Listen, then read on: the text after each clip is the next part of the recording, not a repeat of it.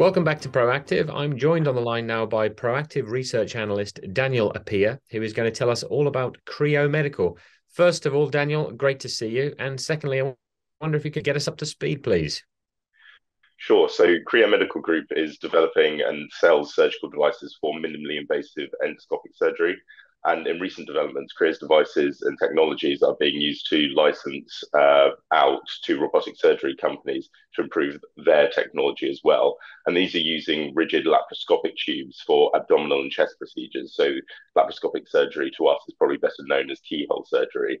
And robotic surgery is making these procedures much safer and much more precise. So they can actually make a robot a more precise surgeon than a, a human. Exactly. Of course, these uh, robotics companies always have a human interface. So what you'll find is that they often use a console to interact with the robotic arms and then do the minimally invasive surgery themselves. But importantly, in recent months, Creo has been helping these companies to develop their technology using their own uh, patented Kamaptive technology. Okay, so what aspect of the whole thing are they actually helping with the innovation of? Sure. So, I mean, as well as their flagship surgical products, they have also been licensing out their Kamaptive energy technology. So, this offers adaptive bipolar radio frequency energy and also super high frequency microwave energy for cutting and coagulation functions on medical devices. And these functions can help in advance robotic surgery where that function doesn't already exist, or it can be used as a replacement to existing uh, energy technologies as well. So earlier this year in May, Creo announced a licensing deal with the largest surgical robotics company, Intuitive Surgical Incorporated. And this deal allowed Intuitive to integrate Creo's offering with its own technology, with Creo receiving royalties. But okay. most recently in October, Creo announced another licensing deal with CMR Surgical Limited, and that's a upcoming UK robotics technology which uses a uh, Versius robot. And Versius robots are individual robotic arms which can be placed around the patient and a medical devices attached to it. And through an interface, the surgeon can then go about the procedure.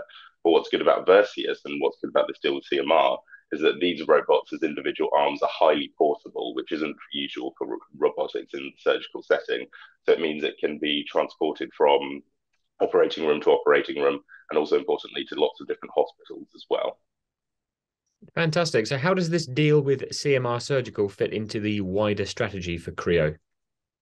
So for Creo, they obviously have their flagship speedboat uh, cut, uh, cutting and coagulation technology, but they also have steady distribution sales through their Albyn revenue stream as well.